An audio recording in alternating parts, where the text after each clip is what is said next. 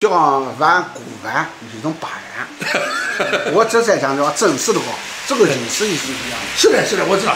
那个把玩过后，我所感觉的这个主题的本身主题是硬邦邦的，对，你揉呀揉呀弄好，最后能叫它柔软。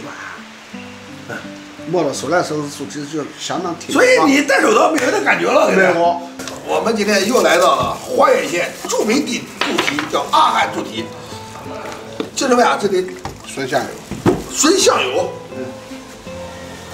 这个是白水糊的吗？对，选猪蹄的。这个猪蹄是没有味道的，是吧？对，没有，就自己摸索着干出来的。人家干这个干多少年了呀？这么有名啊？花园都我算的猪蹄都来这偷学的。啊，都偷学的。对，都没你搞得好。那一测就知道。哦，你这三尼猪蹄的创始人？对，原来花园是创始人。全国也没有这样搞的。对，也没有。人猪蹄这样干，我让我搞这样看吃，哎，搞味道还可以，慢慢慢慢的摸索干。你以前可是大厨？我以前是当老板的。当老板的，现在也是老板。过去干干两个酒店，现在干失败了吧？你原来你你赌钱吧？对。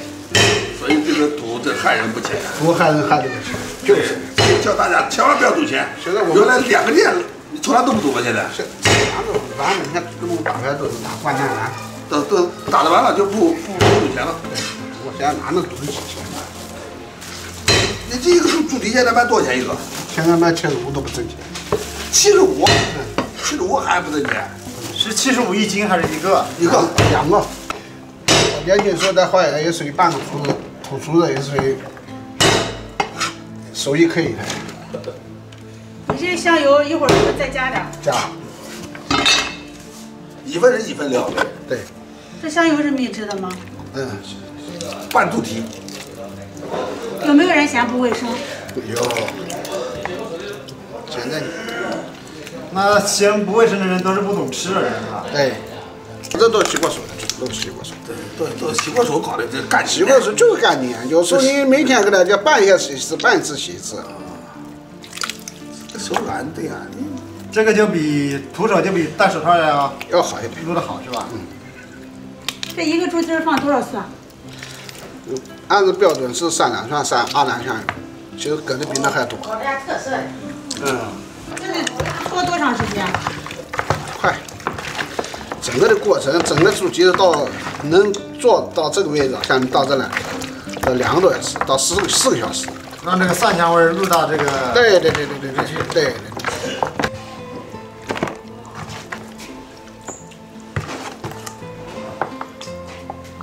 叫碗骨碗是一种把玩，我这才讲叫真实的话，这个意思也是一样。是的，是的，我知道。那个把完过后，我所感觉的这个猪蹄子本身猪蹄子硬邦邦的，对，你揉呀揉呀弄好，最后能叫它柔软。嗯，摸到手来时候，猪蹄子就相当挺。所以你戴手套没有那感觉了，没有。这刚才也没看到你放什么特别的没有，没有，没有，没有，其他没有。那你这味道为什么比别人做的好？我就是这，我不讲嘛，就手感拌出来的东西，材料好。那你这三两三两蒜，二两香油，都值不少钱吧？对，你算能算出来的。香油十八块钱斤，我们是从长期用的，十八块钱。大哥，那蒜贵的时候，咱是不是少放点？不能少放，还要放那些。你放少了，它出不来那个味。那蒜贵的最贵的时候有多贵？最贵卖三块钱斤。香油呢？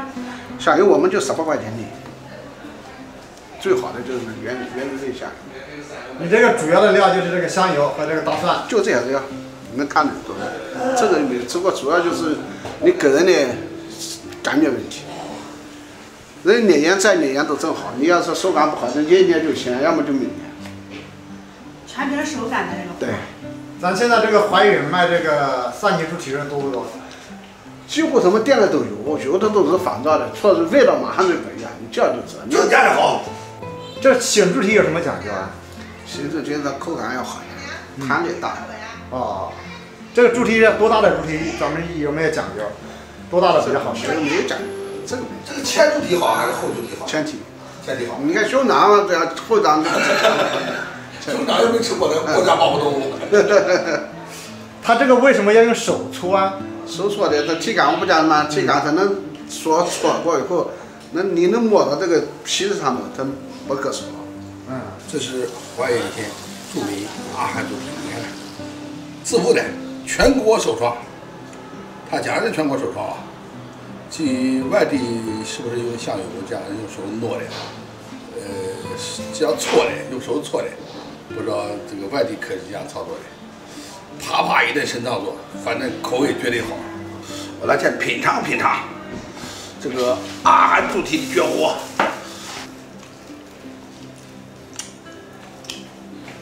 它这个蒜头和这个麻油也起到重要作用，蒜头解腻，麻油提提香，嗯，太好了。用徒手做的，嗯，徒手徒手做的呀，它这个盐呀什么都给搞化了，手感好。它戴手套的搓的不均匀，叫手搓猪蹄。用这个阿汉老板这个口感讲的吧，这个体感到位了，嗯，绝对到位。你看。它七十五，两个新鲜猪蹄，还有三两的香油，三两蒜头，他家有时候放四两的，你看，那真到位，真到位。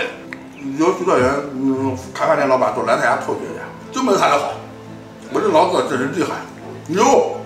你做那个猪蹄让人弄的，我弄的。对呀，那个卫生，我讲那不卫生，我有手感。对手感的，对，我还以为嘛达到手感的标准。